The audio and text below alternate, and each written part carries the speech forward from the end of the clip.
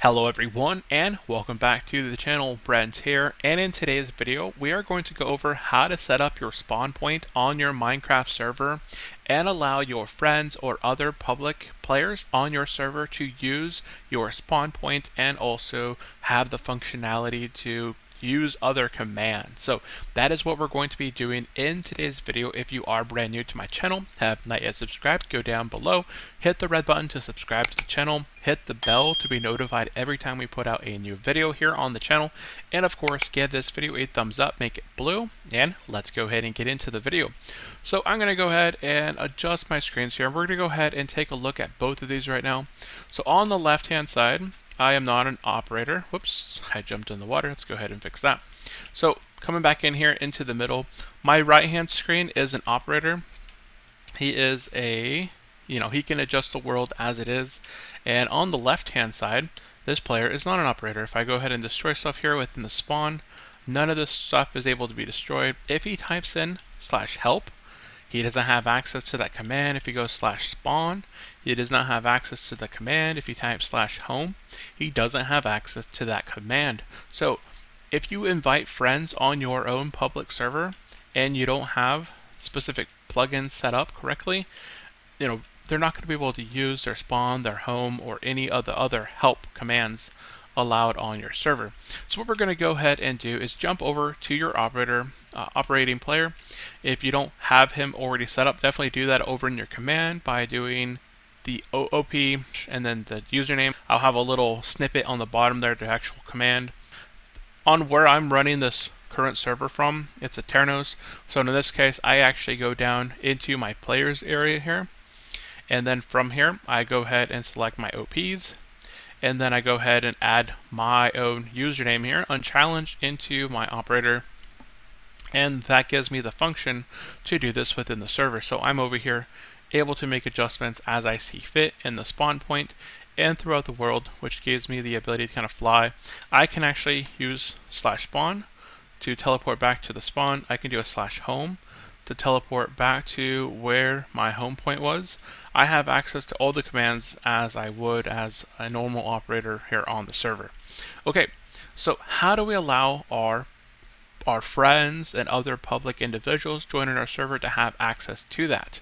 So the first thing we actually need to do is depending on whether you're hosting it online, so have a video up on the top corner of how to start your very own free hosted server where your friends can join or you can have other public players join your server using Aternos. So I do have a video for that. And that's where I'm going to go ahead and show you. But if you're running it on your own computer, you would just go down into your folder where your plugins folder is at. And then you would see this folder called plugins. You would go ahead and select the plugins folder, locate your essentials folder. You would have to have essentials X loaded up on your server and you would have had to start your server at least one time prior to doing this. So I've already done that. And you're going to have all these little configs available for your configuration, your information for your helps, and rules and stuff like that. That'll all be saved underneath your info. There's items, your kits, message of the day. So we're only going to be focused today on the config portion here. And then within this config portion, depending on which version of the Essentials X you're using, it's all going to be going underneath per permissions. So make sure I spell that correctly. Permission and we're going to go ahead and go down here towards the bottom. So I actually have disabled a few of these. We want to focus on allowing this player, this you know other players joining our server, to actually have access to the spawn, to the warps, to the you know this function here spawn. So what we want to do is head down to it could be around 318 line, and we're looking for use Bukkit permissions. Now here we want to go ahead and set this to false. Once you've set this to false, go up in the top right corner, or if you have it offline, go ahead and just save that folder. And if you'd like, you can go ahead and re-close and reopen that, and then search for that once again. And looking for this permissions, see where was it at? Should be line three. 18 right there. This is the latest version of Essentials X, so it's use Bukkit permissions. I could probably actually just search, have search for this one specifically, and just make sure that it's set to false. So we're not using anything else. So use this option to force super permissions, base permissions, handler regarded, regardless of detected install perm plugin. So we're going to go ahead and set that to false. Now, if we were to actually jump back into the game at this point, and on our other player, let's go ahead and just change our spawn point. We're going to go ahead and make our spawn point right here up on this little thingamajig. We're going to go ahead and type in slash set spawn. And that'll be up on the screen as well. Now we've set up our spawn location. This will be our spawn default location for all players joining our server from this point on. Now if we actually go on our other uh, our uh, other character that is not an operator and we type in slash spawn, we still do not have access to this command. So even though we have um, changed it in the files. And if even if we go over here and go to the essentials, whoops, let me make sure I spell this correctly.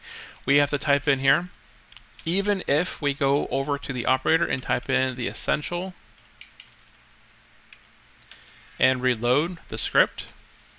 So everything's been reloaded. It's been reloaded off the script, like the new permissions.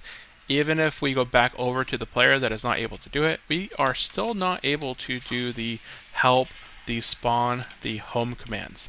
So the reason for that is that our server just needs to be restarted. So back on your computer, or if you're running this online, you're going to go ahead and just restart your server. You can do this by going into your console and type it in stop. So I'm not going to do this right in here, but you can see here that it has been stopped and now it's restarting right now. So here in this case, I'm restarting, but if you're running this on your computer, you would just type in the stop. I think it's actually just stop, S-T-O-P, and it would stop your server. You would just kind of exit out of it, and then you would need to reload it back up. Now, if you're running it on a free hosted server, such as we are here, I, yeah, I had the option to hit restart, so it's going to go ahead and go back through the process of restarting the server. Now, if we go back over to our Minecraft, our server has been closed. we have kind of got kicked back out to our multiplayer page. So we're going to go ahead and wait a minute until we get notified that the server has came back online. And it takes roughly about anywhere from two to five minutes for this to happen. So we will be right back. Okay, our server is now back online. So back on our Minecraft areas, I've already logged in this one uh, into the world. We're going to go ahead and log in our second player. Now, once we have logged in, I'm going to go ahead and change the spawns around here. So I'm going to go ahead and go on here and type in set spawn.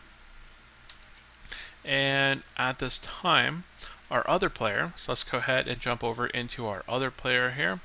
So we've restarted the server, we've adjusted our permissions on our config. So now we have access to slash help. And we have more pages of slash help. So we can actually go through here and read every single page of the slash help like all the commands that we have access to now. And at the bottom here we can see that we have access now to slash spawn. So we just set up our spawn point on our operator so if we do that slash spawn point within five seconds we're going to go ahead and teleport right over here on top of our spawn point. Now the operator can change the spawn point at any time. Say he decides he changes it at a later time. And when you spawn into this world, you're going to go ahead and be staring up at the up at the sky. So there we are. We've set up our spawn point. So I'm going to go ahead and watch this happen. On the right hand side, we're going to go ahead and again, once again, type in slash spawn there. And we're going to go ahead and teleport. Boom, we're looking up at the sky. So if you have something that you want other players or new players joining your server to, you know, you want them to spawn into the world, but also be looking at like a giant castle or, you know, something you want your spawn point to be really nice. So right now this is not an amazing spawn point. This is sort of a little makeshift testing area, but we have set up our spawn point and our player now has access to do all that fun jazz and the the beds and stuff like that. So the beds here don't actually overwrite you. Okay, so another thing is that you can set your home home points. So we can type in slash set home up on the screen now and you'll be able to set up your home point. So you actually have access to your spawn, which is located at the spawn point of the server. And we have access to now slash home. Now slash home is going to take us outside of the base, you know, back where we set up our slash home right here. And another fun thing to know is if you make it nighttime, let's go ahead and make it night, and you do happen, you know, you're traveling at night and you come across a bed at someone's base or outside, and you do happen to click on that bed, let's go ahead and log out of this game real quick. So we'll make it day now. And let's log in back on this side. So if we go ahead and type in now slash, we're going to go ahead and go to spawn. You know, we log back in, we slept on this bed.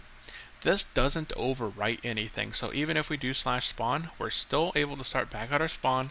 And if we made a home on our base, you know, we, we used, um, we claimed a certain area of the map, we made it into our base, and we set it as our home, we are still able to return back to our home base. Now, depending on permissions in the future, you, you're able to set multiple homes, but in this case, um, the, we haven't adjusted the permissions yet. We'll do that in an upcoming video where you'll be able to set up multiple homes depending on what your rank is on that server. So that is something we'll cover up in another video. But for now, we have covered how to set up spawn points, how to set up your home, and we have we've also covered how to let other players on your server have access to those functions.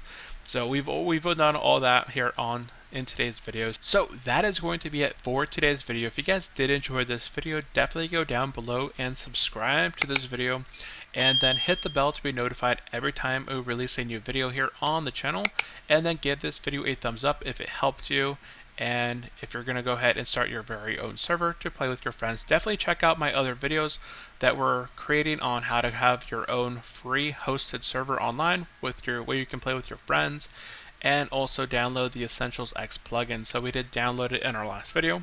And now we're going to go ahead and cover how to set it up in these upcoming videos. So that is it for today's video. Thank you all for tuning in. I will see you next time. Have a great day. Bye.